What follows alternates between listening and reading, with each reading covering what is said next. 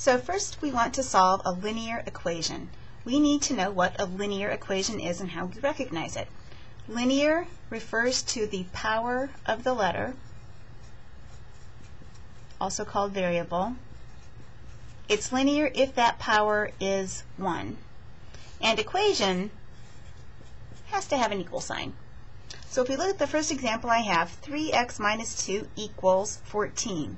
Here's my only letter. It's raised to the first power, so I have linear. I have an equal sign. That means I have an equation. Excellent, because whenever you have an equation, your tool bag gets much larger than if you just have an expression. Because equations, you're allowed to do whatever you want as long as you do it to both sides. So when I look at this first equation, I want to start by isolating the x term on one side. So here's my term with the x's in it. Currently on that side of the equal sign it has a minus 2. I need that minus 2 to move. So the way I do it is I'm going to add the opposite. So the opposite of minus 2 is plus 2. But whatever I do to the left side of the equation, I have to do the exact same thing to the right side. What happens on the left then is the minus 2 plus 2 becomes 0. And that gets me the 3x all by itself. On the right, I have 14 plus 2, 16. So now 3x equals 16, which would be fabulous if I wanted 3 x's, but usually you only want 1. So now to get rid of the 3, I need to do the opposite operation. The 3 and the x are attached with multiplication, so the operation that undoes multiplying is dividing. So if I divide the left side by 3, 3 over 3 is 1. That's going to get me that x that I want. But I can't just go dividing the left side. I have to do the exact same thing to both sides. So I will divide the right side by 3 as well. Gives me a final answer of 16 thirds. Remember, improper fractions are the preferred form now. Um, and that one doesn't reduce. No common factors between 16 and 3. Now let's take a look at that next example that looks a little bit more difficult, but isn't that bad.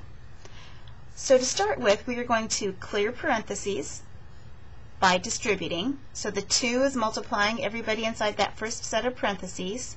So I'm going to get 10x minus 2 plus 7 equals 8x.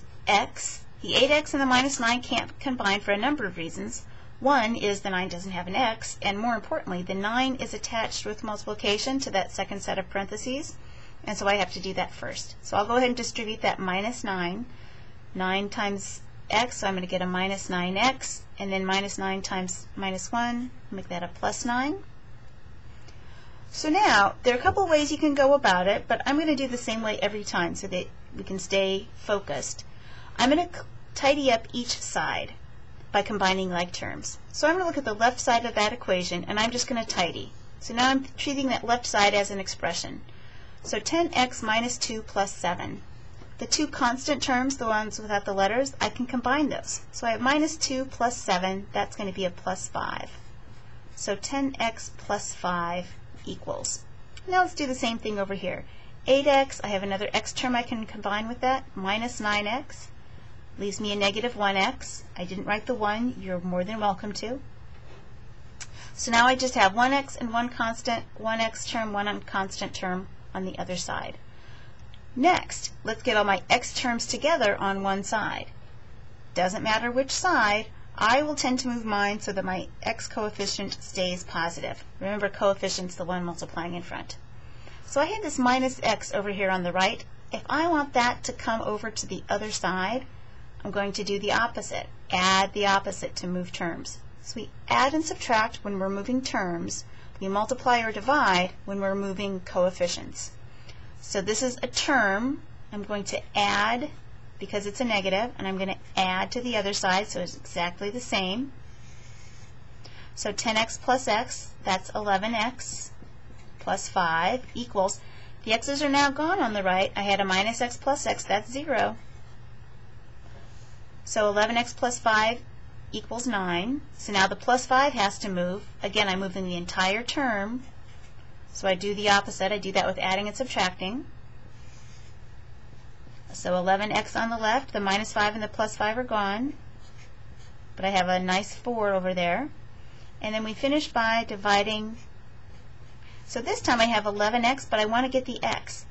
I'm just moving the coefficient. I do that with division. So I'm going to divide both sides by 11 the 11s cancel on the left, and the right now has my answer.